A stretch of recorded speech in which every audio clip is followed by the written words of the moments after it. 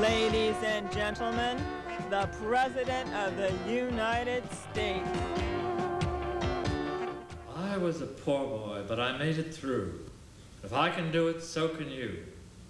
I was a poor boy, but I made it through, and if I can do it, so can you. I was a poor boy, but I made it through, and if I can do it, so can you. I just want people to be free to do and be what they want to be, and not feel burned and keep what they've earned, and not have to feed people they don't even like, who aren't even white, and not buy a house because of some louse who don't work anyway. I'm a hero, just like John Wayne. I just want freedom to get what is due for all those who have some capital from previous investments, for all those who worked hard and weren't even barred from the country club in Beverly Park, and weren't even barred from working and built things at last and planted the grass and toiled all day and then had to give it away. To who? To you. Why should we pay for all of that art by all those perverts who can't draw a lark? I'm a hero. He was an A, and I was a B. But now he's dead, and I'm sitting in the president's seat. I want to be a hero, just like John Wayne. So I'll cut waste, and I'll cut spending, I'll cut taxes, I'll cut welfare, I'll cut food stamps, I'll cut Medicare, cut crummy art, I'll cut off your arm, I'll cut off your leg. And now, a fishy fairy tale The Flounder.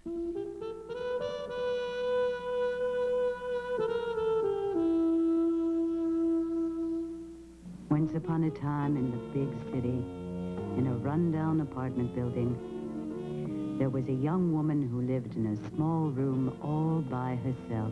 This young woman was very sad. All around her were other young women who had exciting jobs and beautiful apartments and pretty clothes, but not her. If I could only have one of those things, She thought. I would be so happy I'd never want anything else. But her life didn't change, and she went on living in her small room all by herself.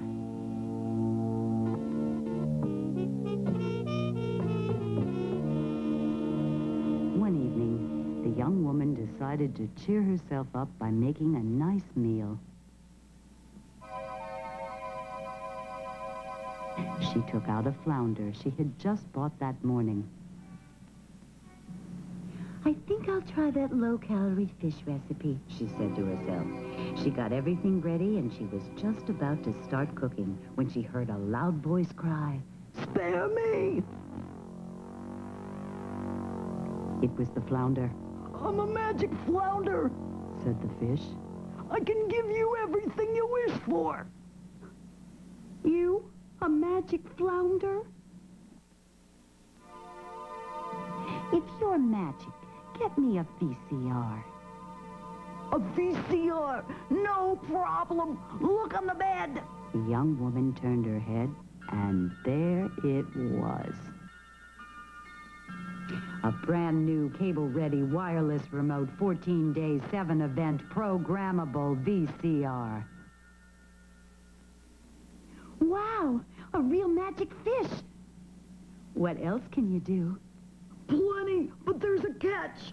First, you must promise that never by dark a night or light a day will you bake, fry, or cook me in any way.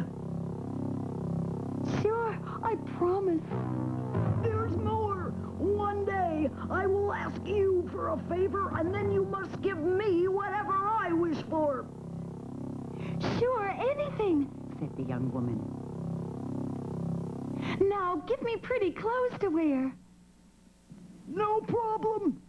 And before she could take a breath, her room was filled with boxes and boxes of the prettiest, most wonderful clothes from the most famous stores in the city. Fantastic. Cried the young woman. Now, give me a beautiful apartment. And in the wink of an eye, she had a beautiful apartment. I think I'm going to like this, the young woman said to herself.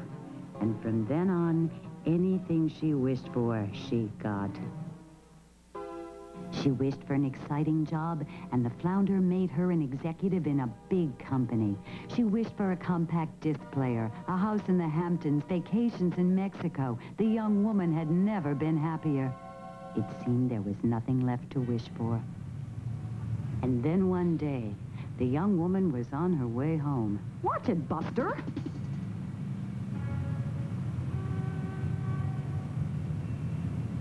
And suddenly, she realized what was still missing from her life.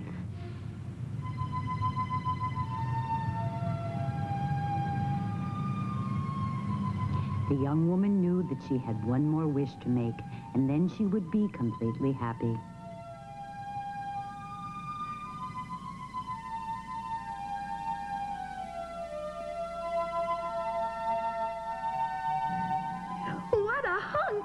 She said to herself.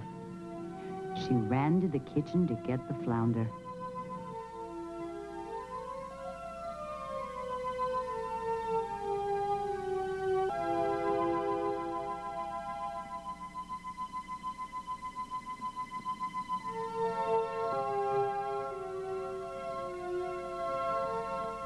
Oh, Flounder, She cried. give me that man I just met. Sorry. You promised me one wish and this is it. You'll never have a boyfriend or husband, but will live with me for the rest of your life. But you're a fish. That's true, but you promised. The young woman couldn't believe it. Spend the rest of her life with the fish? She kept hearing the words of her vow. Never by dark of night or light of day will I bake, fry, or cook you in any way. Yeah, said the young woman to herself. But there's more than one way to get rid of a fish. And that's exactly what she did that very same day.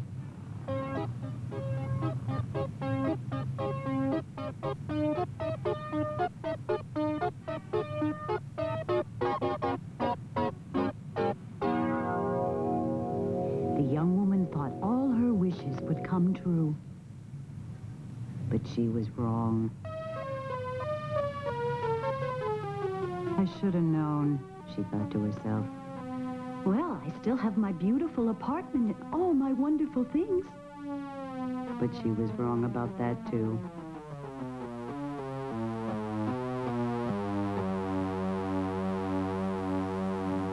For while she was out, someone had broken in. All of her wonderful things were gone. And that wasn't all. In the mail was a notice. Her beautiful apartment was going co-op.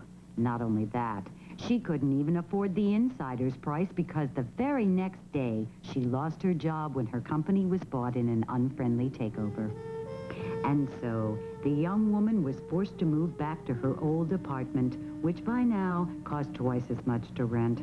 Next time I'll listen to the fish, the young woman said to herself.